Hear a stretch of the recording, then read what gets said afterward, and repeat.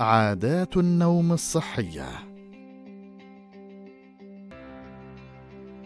بجانب الراحة التي يحصل عليها جسمنا بعد فترة من النوم الكافي يقوم الجسم بعمليات تجديد كثيرة ومختلفة.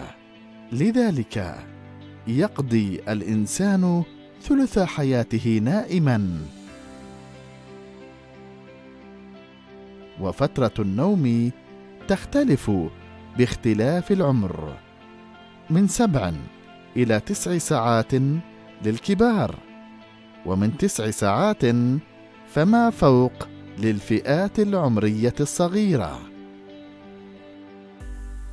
هل تعتقدون أن قضاء ثلث حياتنا في النوم يعتبر كثيرا؟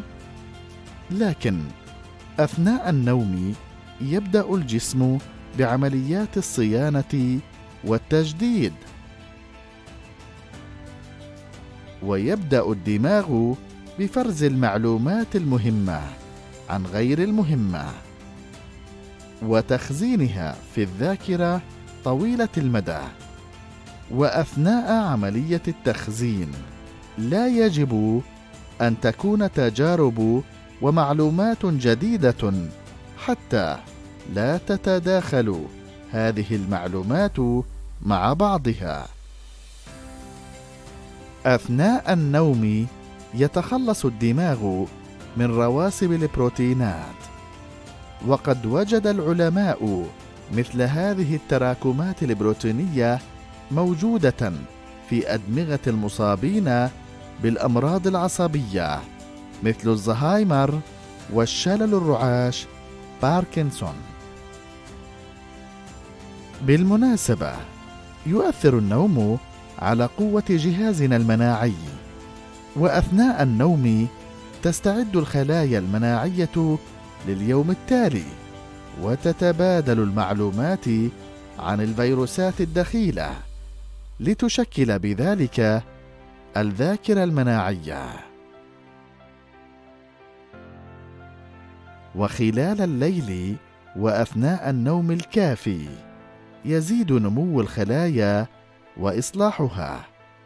وأثبتت الدراسات أن الأشخاص الذين ينامون بشكل كاف أقل عرضة لخطر الإصابة بأمراض مثل السكر السمنة وأمراض القلب والأوعية الدموية. والقسط الكافي من النوم يؤثر على عملية الايض وبالتالي يصبح لدى الجسم طاقة كافية لعمليات الحرق.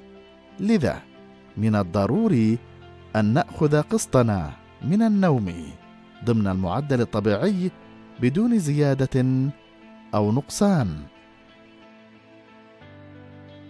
لأن قلة النوم تؤثر على المزاج والقدرة على التركيز في أداء المهام اليومية وتزيد من الاكتئاب وفي المقابل فإن الإفراط في النوم يزيد من الشعور بالخمول والكسل الدائم. وكي تستمتع بنوم صحي ومريح. احرص على النوم بوقت محدد يوميا وبانتظام. اذهب إلى السرير فور شعورك بالنعاس. مارس تمارين الاسترخاء قبل النوم. تجنب الإضاءة الساطعة قبل النوم. ابتعد عن تناول المنبهات كالشاي والقهوة والمشروبات الغازية. احرص على عدم تناول الوجبات السريعة والمأكولات الدسمة قبل النوم بساعتين على الأقل. حاول التقليل من التفكير والتوتر قبل النوم. تذكر دائما أن النوم الكافي يعني حياة صحية.